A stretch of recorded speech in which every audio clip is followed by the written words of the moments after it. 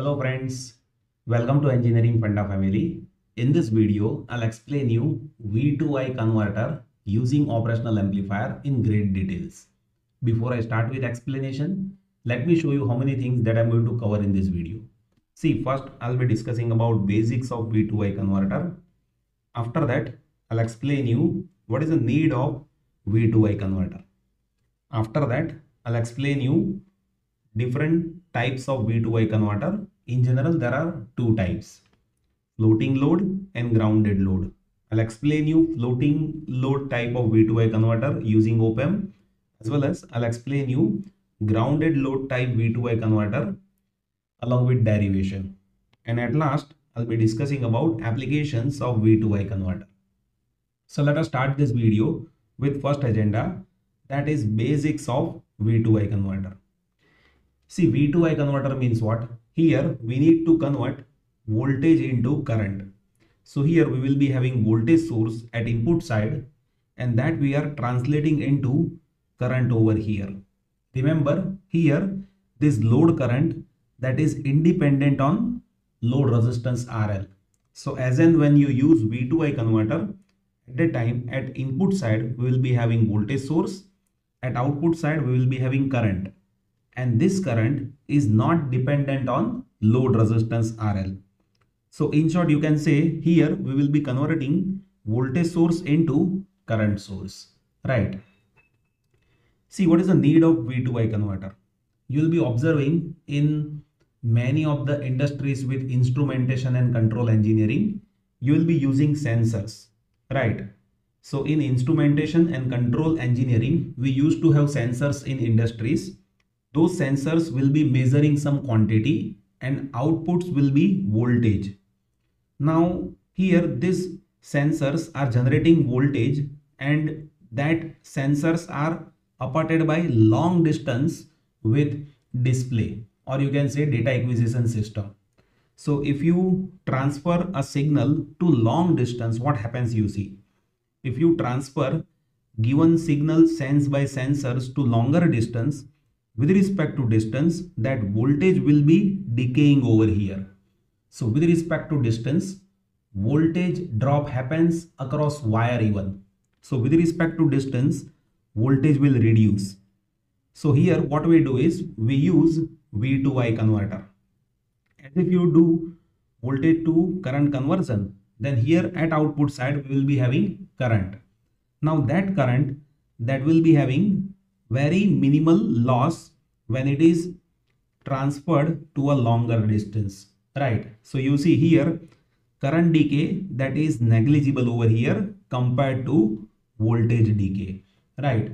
So usually in industries of instrumentation and control engineering you will be observing for longer distance we will be translating voltage into current. The reason is voltage decay that happens across wire even right? So if you convert voltage into current then current signal distance that is not having that much decay right? So that is the basic need which is there with v2i converter.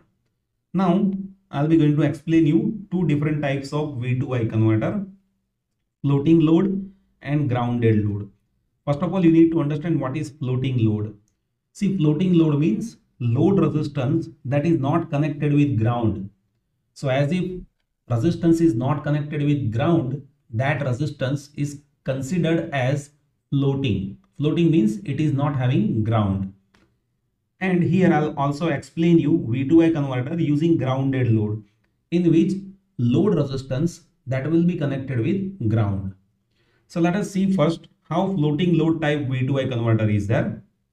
So if you observe here, we have load resistance over here and this load resistance that we are connecting it with output and at inverting terminal of this op-amp means this load resistance that we are not connecting it with ground that's why this circuit is of floating load type V2I converter.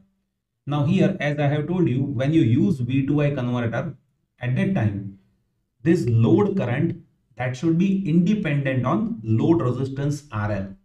Let me explain you how it is independent. See, here we have input voltage and we have negative feedback over here. There are a few basics that you should know about negative feedback. See, if you have negative feedback, then with op-amp, we will be using virtual ground concept or virtual short concept. What is the meaning of it?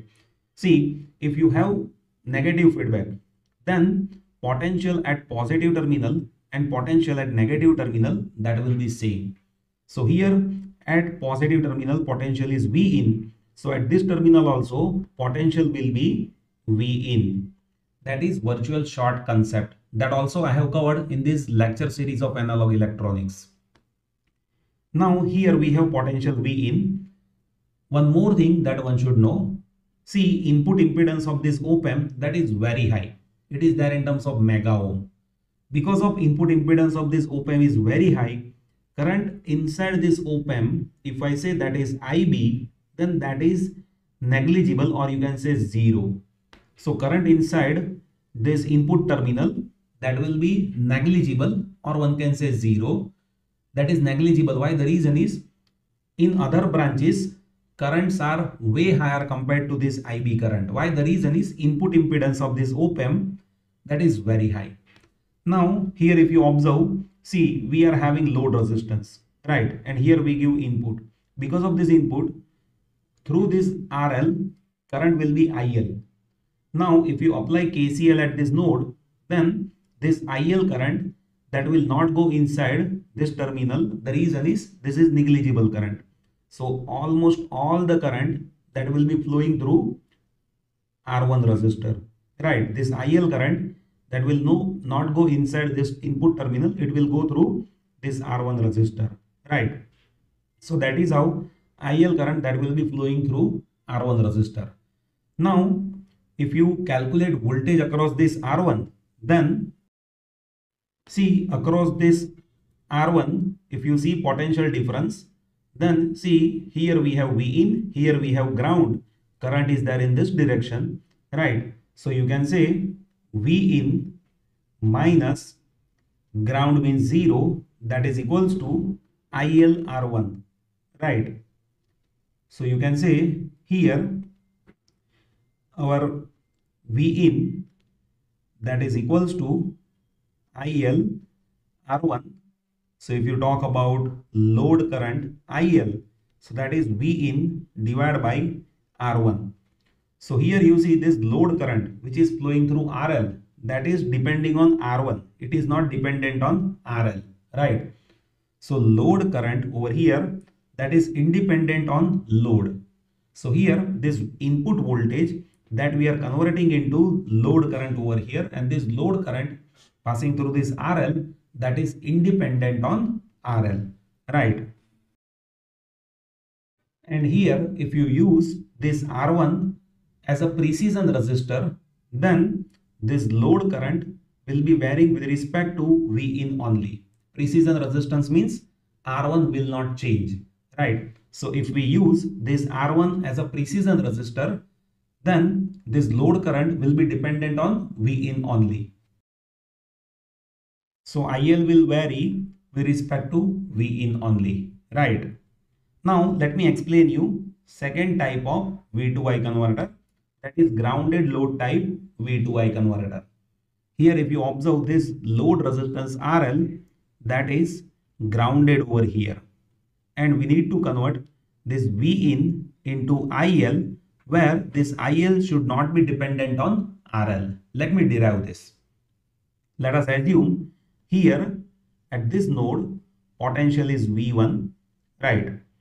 Now, because of V in, let us say current in this R is I1 and because of output over here, we have positive feedback through which current is I2 over here.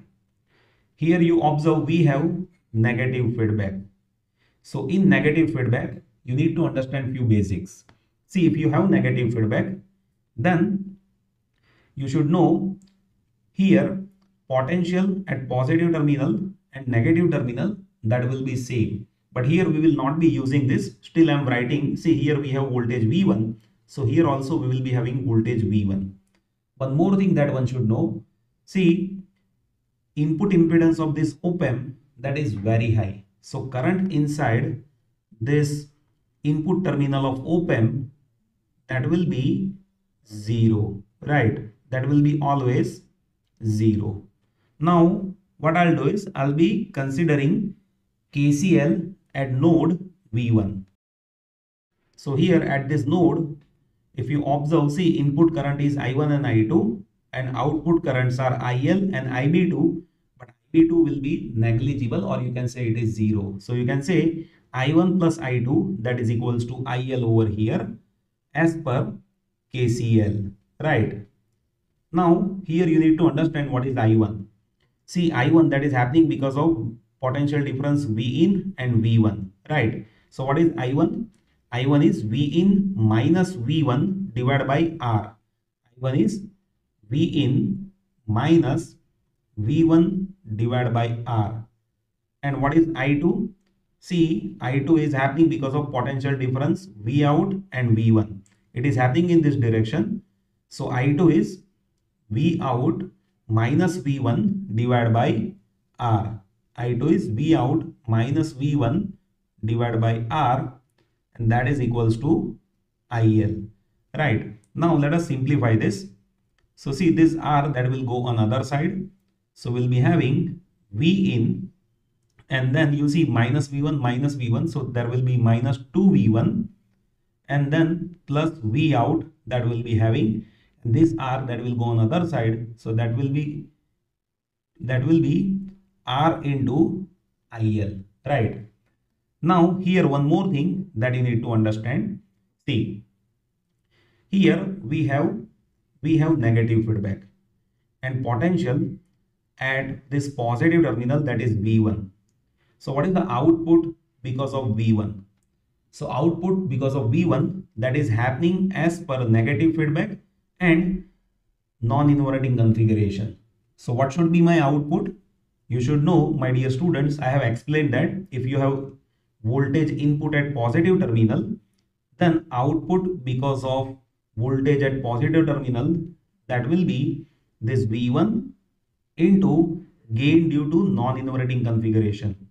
Gain due to non-inverting configuration is how much? 1 plus RF by R1. Here RF is R and R1 is also R. So here V1 into 1 plus R by R. So this RR will get cancelled. So V out that is equals to 2V1. So if you substitute V out is equals to 2V1 in this, then you can further simplify this equation. You see how. V in minus 2V1 and V out is 2V1, right? So that is equals to R into IL. This is getting cancelled. So you can say V in, you can say V in that is equals to R into IL. Here, if you observe, see what we want to convert. We want to convert this voltage into current and this current IL that should not be dependent on RL. So if you observe, see here IL, here IL current that is V in divided by R where this load current that is not dependent on RL, it is dependent on V in and R. And here value of R that is fixed. So here at load, you can connect any resistor across which you will be getting current IL that is only dependent on V in, right? So that is how we can have grounded type V2I converter. Now let us talk about applications.